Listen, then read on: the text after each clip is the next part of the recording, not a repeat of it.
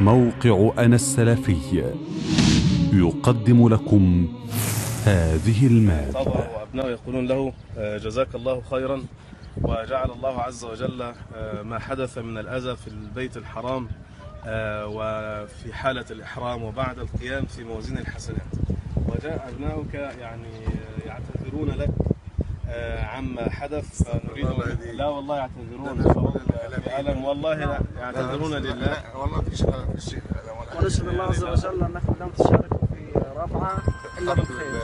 هذه يقول الشهاده يعني هم هم ارباب هم ارباب أنا أريد منكم كلمة لأبنائك أبناء الدعوة. الحمد لله. ونصيحة في الحمد لله وأشهد أن لا إله إلا الله وأشهد أن محمدا عبده ورسوله صلى الله عليه وسلم.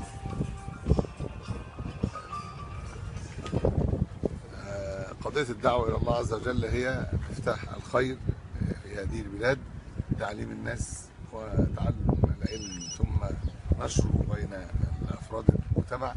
هو من أعظم ما ندفع به هذه الآلات وغيرها.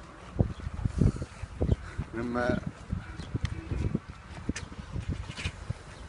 يعني مما يدل على أن غياب العلم هو من أعظم أسباب آه، هذا- هذه الأنواع من الفتن.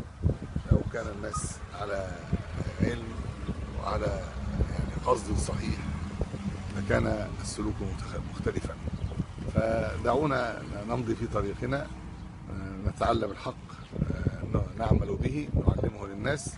آه، أخلاقنا تدل علينا لن يستطيع أحد بإذن الله تبارك وتعالى أن يمحو أثرنا وإنما يظل أثر الخير دائما بإذن الله تبارك وتعالى. الحمد لله على السلامة.